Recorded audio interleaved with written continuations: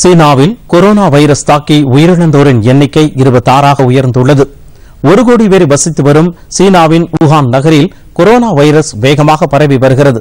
இதனை கட்டுப்படுத்த அரசு தீவிர நடவடிக்கைகளை எடுத்து வருகிறது. அந்நாட்டின் பல்வேறு பகுதிகளில் ஆயிரத்து எழுபத்தி இரண்டு பேருக்கு வைரஸ் தாக்குதல் இருப்பதாக சந்தேகிக்கப்பட்ட நிலையில் தொள்ளாயிரம் பேருக்கு வைரஸ் தாக்கி இருப்பது உறுதி செய்யப்பட்டுள்ளது.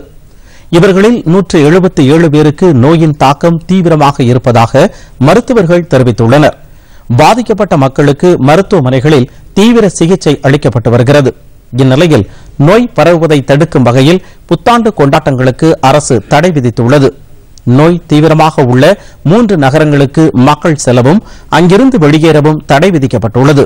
தாய்லாந்து ஜப்பான் தென்கொரியா அமெரிக்கா சிங்கப்பூர் வியட்நாம் ஆகிய நாடுகளில் பதினோரு பேருக்கு இந்த பாதிப்பு உள்ளது கண்டறியப்பட்டுள்ளது. இந்தியாவில் இத்தாக்குதல் பரவாதவாறு தடுக்க விமான நிலையங்களில் சோதனைக்கு பிறகு மக்கள் நாட்டிற்குள் அனுமதிக்கப்படுகின்றனர்.